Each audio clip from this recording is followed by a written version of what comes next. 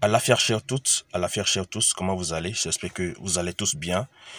On m'appelle Vunogan Drado Metoche. Je suis d'Inter Tron à la FIA. Je suis président de la fondation Tron Fa, défenseur des valeurs traditionnelles. J'ai été mis au parfum de ce que qu'un prêtre catholique aurait souhaité ou bien aurait voulu ou bien aurait, aurait pu déjà faire à certaines personnes des cérémonies des jumeaux. Euh, je ne serai pas long dans mon commentaire, je dirai simplement que ce terrain glissant.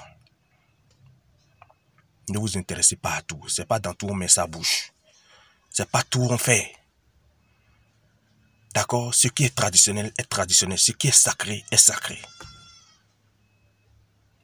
Vous avez déjà tout fini là-bas et vous vous intéressez maintenant aux choses traditionnelles. Vous voulez faire les cérémonies de, des jumeaux.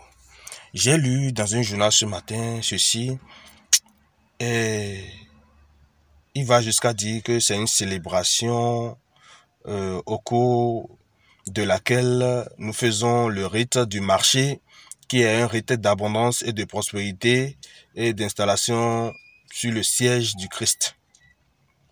C'est le prêtre catholique qui le dit, c'est pas moi. Je l'ai lu.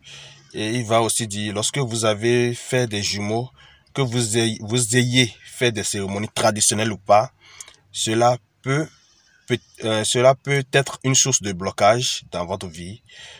Euh, vous pouvez tomber malade, perdre votre travail, ne pas connaître la joie, hum, de l'amour conjugal, des échecs et j'en passe c'est aberrant, c'est aberrant, c'est, ça n'a pas de sens. C'est, c'est un non-lieu, quoi. Vous voyez un peu. Euh, c'est bien dommage. Mais je souhaiterais pas rentrer en profondeur. J'aimerais appeler simplement ce pote catholique à se ressaisir très tôt. Parce que si ça commence, il pourra pas supporter. C'est le traditionnel qui parle. Ne fait rien on suit seulement les institutions des, des, des divinités. C'est pas bien. Ne détournez pas les gens, ne, ne détruisez pas la vie des gens. Les cérémonies des jumeaux, c'est des spécialistes qui le font. C'est pas n'importe qui. Même si vous rentrez dans la, dans la tradition, ce sont des spécialistes qui le font. C'est pas n'importe quelle dignité qui le, qui, qui, qui, le, qui le fait.